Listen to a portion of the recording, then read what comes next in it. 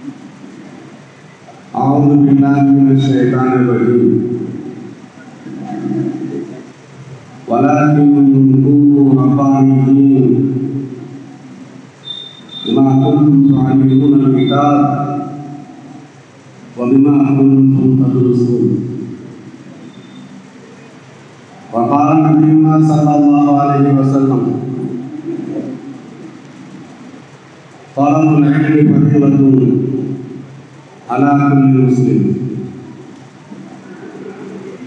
صدق الله وصدق رسول الله صلى الله عليه وسلم.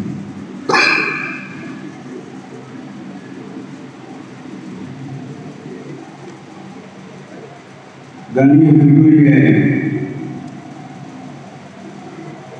بسم الله கல்வி கேந்திரத்தில் நூற்றாண்டு திருவிழாவின் தலைவர் அவர்களே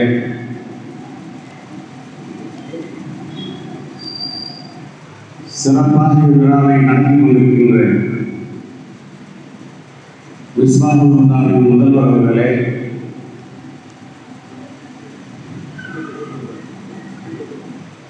தமிழ் மாநில ஜமாத் உலமாவின் தகுதியின் தலைவர் ஷேகு ஹரீஸ் அல்லத்னா குபலா அவர்களே மரியாதைக்குரிய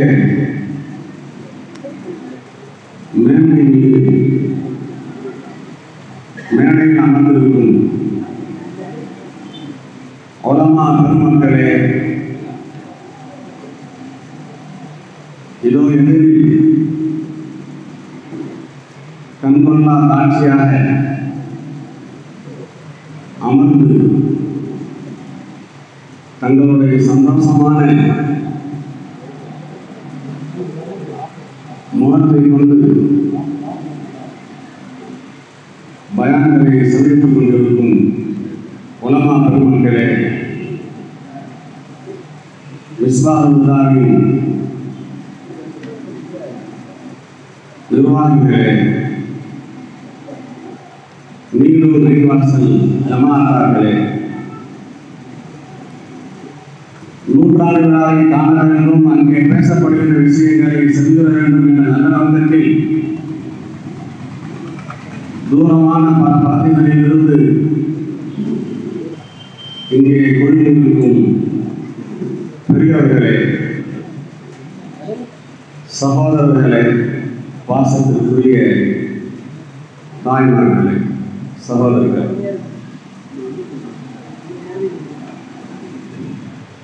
அல்லா இந்த பிரபஞ்சத்தை படைக்கும் போது அது இருளாக இருந்தது. எங்கும் இருள் எதிலும் இருள்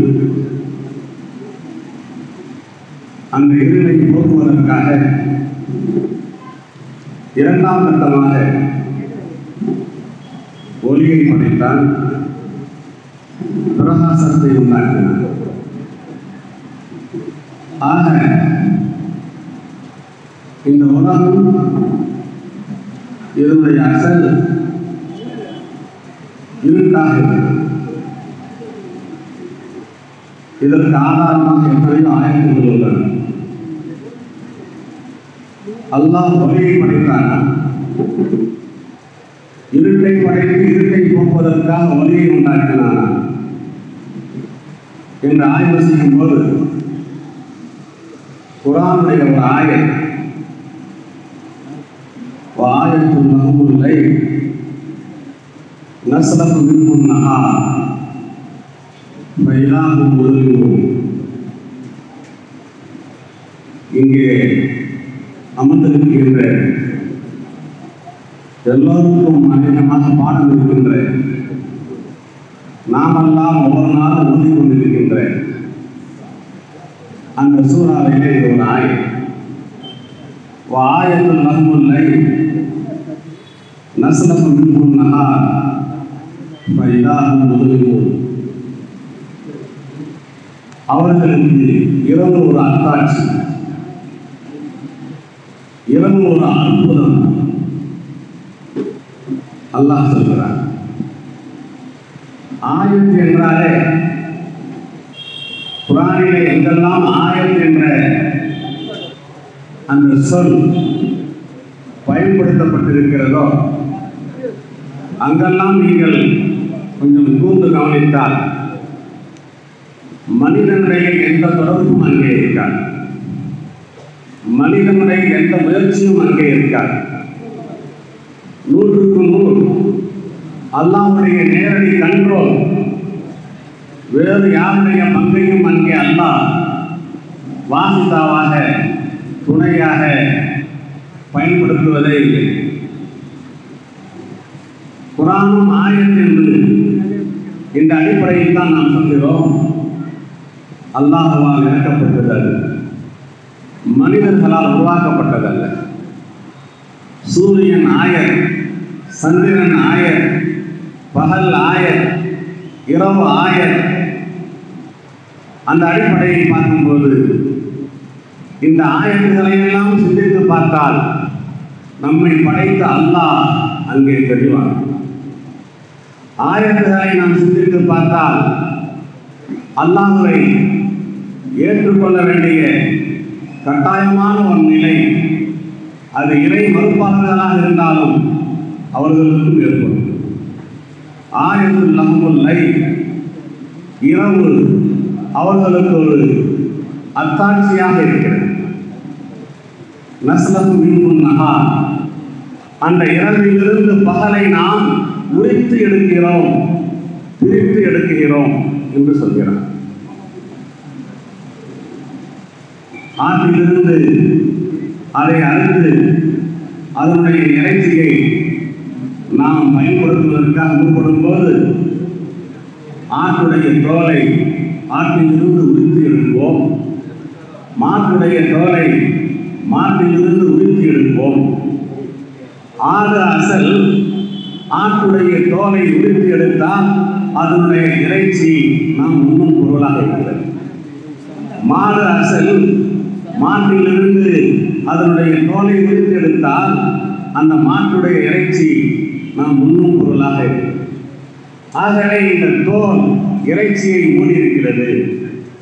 அந்த தோல் அந்த இறைச்சியிலிருந்து எடுக்கப்பட்டு விட்டால் அசல் பொருள் காட்சிக்கு தரும் கண்ணுக்கு தரும்.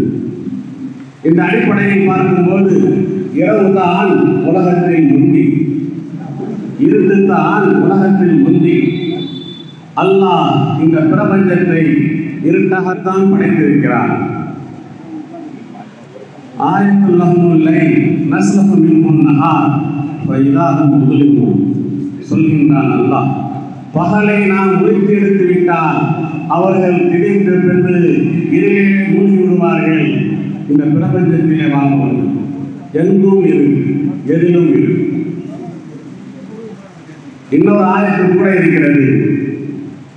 வஜாலம் உருமாற்றி உள்ளூர் அல்லாஹ் சொல்லுவான் முழுமாத்தை படைத்தான் இருள்களை படைத்தான் நூரை படைத்தான் என்று முழுமாத்தை இருள்களை சொன்னதற்கு பின்பு பிரகாசத்தை படைத்தான் என்று அல்லாஹ் சொல்லியிருக்கிறான் ஆகவே உலகம் பூராவும் இருள்மயமாக இருக்கிறது என்றால் அந்த இருளை போக்குவதற்கு நூறு தேவை பிரகாசம் தேவை ஒளி தேவை.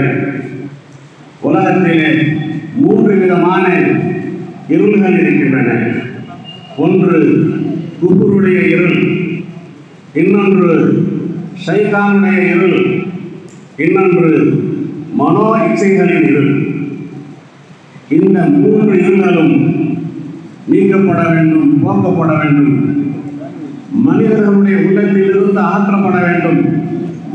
அந்த இருவர்கள் அகற்றப்பட வேண்டும் என்றால் நூறு தேவை. அந்த நூறு. அல்லாஹ் நூறு சமாவாதி வல்லர் மூன்று விதமான நூறுகளை அல்லாஹ் குரானிலே சொல்லியிருக்கிறான். முதல் நூறு அல்லாஹ் நூறு சமாவாதி வல்லர் அல்லாஹ் வானங்களின் நூர் பூமியின் நூர் இந்த வானங்களையும் பூமியையும் அல்லாஹ் ஒளிமயமா ஆக்கியிருக்கிறான் ஒளிபடுத்திருக்கிறான் இங்கே அல்லாஹ் தன்னையே நூறாக ஆக்கி காண்பிக்கின்றான் நூரை படைத்த அல்லாஹ் நூறு என்பது ஒரு படைப்பு.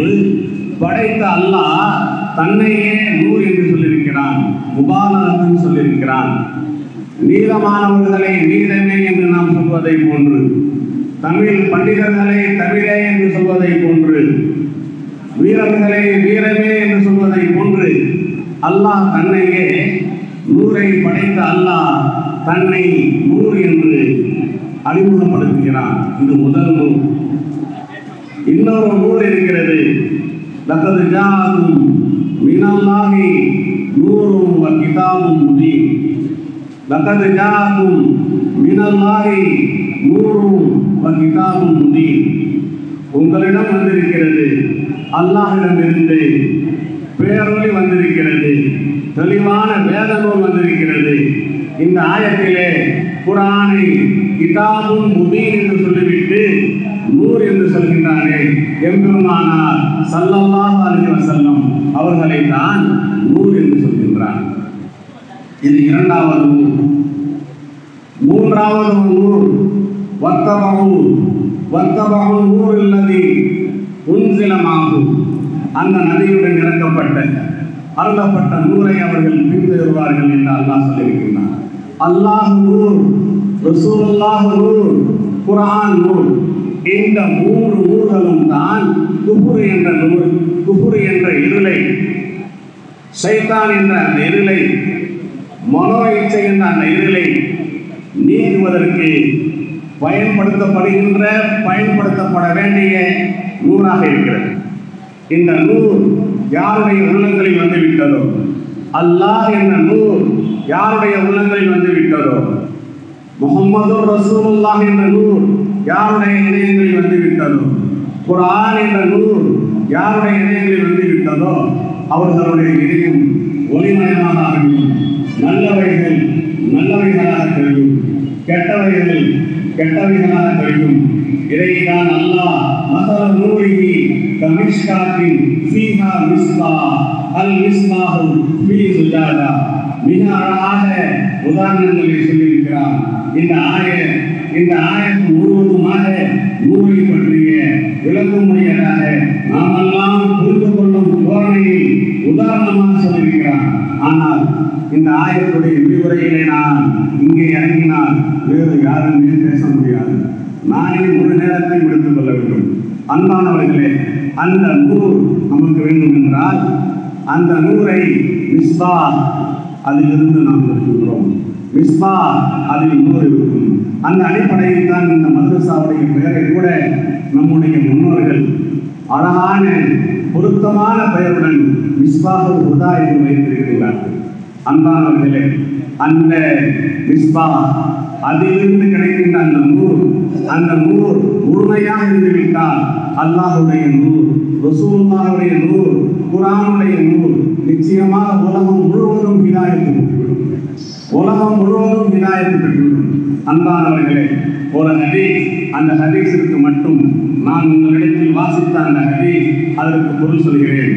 தலபுல் ஐமி பரீலத்துன் அலா குல்லி முஸ்லிம்.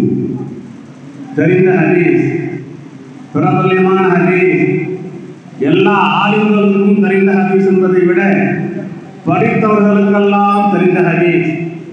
இந்த ஹதீஸ் இப்போது படித்தவர்கள் பட்டதாரிகள் முஸ்லிம்கள் நடத்துகின்ற பள்ளிக்கூடங்கள் கான்வென்ட்டுகள் கல்லூரிகள் கல்வி மாநாடுகள் எங்கெடுத்தாலும் இதைத்தான் சொல்வார்கள்.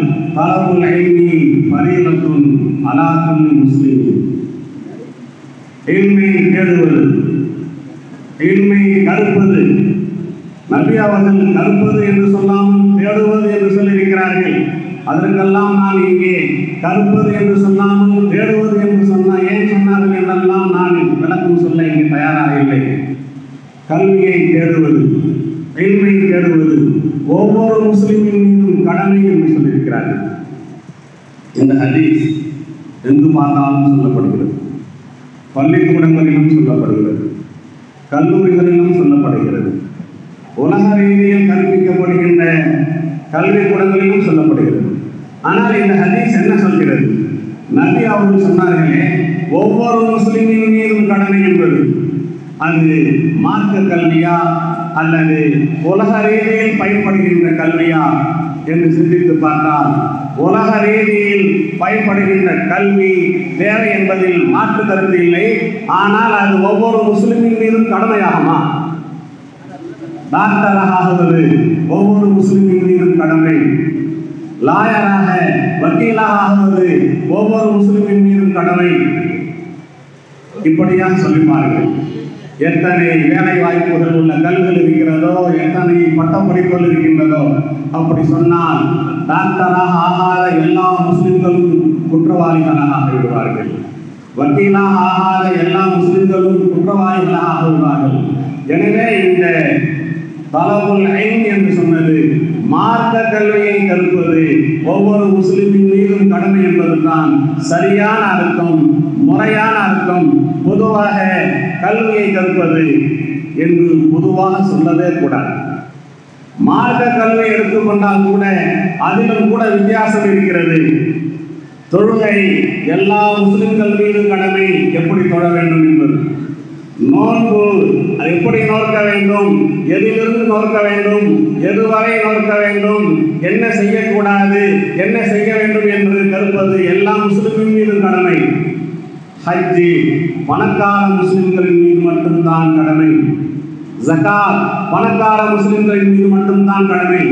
இந்த இஸ்லாமிய கடமைகளிலேயே எல்லா முஸ்லிம்களின் மீதும் கடமை இல்லாமல் சில முஸ்லிம்களின் மீது மட்டும் கடமை இருக்கின்ற இபாதத்தை இருக்கும் போது இந்த உலக வாழ்க்கைக்காக தேவைப்படுகின்ற பொருளாதாரத்தை தீட்டி தருகின்ற உண்டாக்கி தருகின்ற பெருக்குகின்ற அந்த கல்வி எல்லா முஸ்லிம்களின் மீதும் கடமை என்று சொல்லிவிட்டால் என்ன நிலையாகும்? இன்று மாடல் முஸ்லிம்கள் பட்டதாரிகள் இவர்களெல்லாம் பேசுகின்றார்கள். ஏதோ அவர்கள் கற்ற அந்த கல்விக்கு பெருமானாருடைய மொழியிலிருந்து ஒரு ஆதாரம் தேவை என்பதற்காக. ஆனால் நம்மை போன்ற ஆளுங்கள் கூட இந்த ஹதீஸை படித்து பொதுவாக கல்வி கற்பது என்று தான் சொல்கிறார்கள். நான் சிறு குழந்தைகளுக்காக தீனியா என்ற ஒரு புத்தகத்தை உண்டாக்கியிருக்கிறேன் எழுதியிருக்கிறேன். அதில் அவருடைய அப்பாயின் சம்பந்தமான தொழுகை சம்பந்தமான விஷயங்கள் எல்லாம் இருக்கின்றன. அதில் முக்கியமான சில ஹதீஸ்களும் இருக்கிறது. அதில் முதல் ஹதீஸ் தலபுல் ஐவி பரீலத்துன் அலாக்குள்ளி முஸ்லிமின். அந்த ஹதீஸிற்கு நான் பொருள் செய்திருக்கிறேன் மார்க்க கல்வியை கற்பது. ஒவ்வொரு முஸ்லிமின் மீதும் கடமை என்று. ஒரு ஆளின் பார்த்தார். ஆளின் பார்த்து என்னிடம் சொன்னார் ஹசரத் நபி அவர்கள் இங்கே அல் இல்மு என்று தானே சொல்லியிருக்கிறார்கள். அல் எலும்பு சரகி என்று சொல்லவில்லையே. நீங்களாக உங்கள் இஷ்டத்திற்கு மார்க்க கல்வி என்று எப்படி பொருள் சொல்கின்றீர்கள் என்று ஒரு ஆளும் கேட்கிறார். இதுதான் ரொம்ப ஆச்சரியமான விஷயம். சாதாரணமான அரபு மொழியில் பாண்டித்யம் இல்லாத அரபு மொழி தெரியாதவர்கள் கேட்டார்கள் என்றால் புரிந்து கொள்ளலாம். எளிமை என்பதற்கும் அல் எளிமை என்பதற்கும் வித்தியாசம் இருக்கிறது. அலிஃப்லாம் போட்டு எல்மு என்பதற்கும் அலிஃப்லாம் போடாமல் எல்மு என்பதற்கும் அந்த அலிஃப்லாமையே விட்டு விடுவோம். அலாக்குள்ளி முஸ்லிமின் என்ற அந்த வார்த்தை சொல்கிறதே ஒவ்வொரு முஸ்லிமின் மீதும் இந்த ஒவ்வொரு முஸ்லிமின் மீதும் என்ற அந்த வார்த்தை.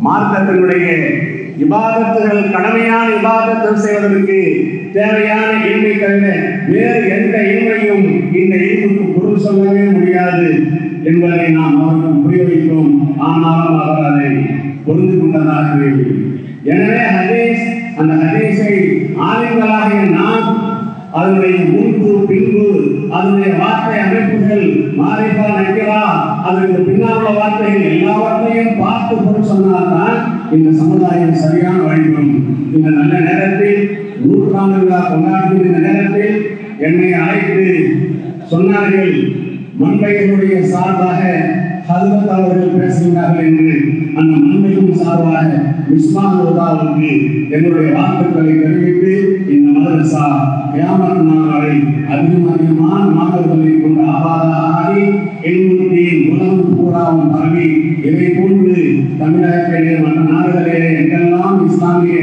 மதரசாக்கள் ஜாமியாக்கள் இருக்கின்றனவோ அந்த மதரசாக்கள் ஜாமியாக்கள் எல்லாம் அதிகமான மாணவர்களை கொண்டு நிரம்பி தீனுடைய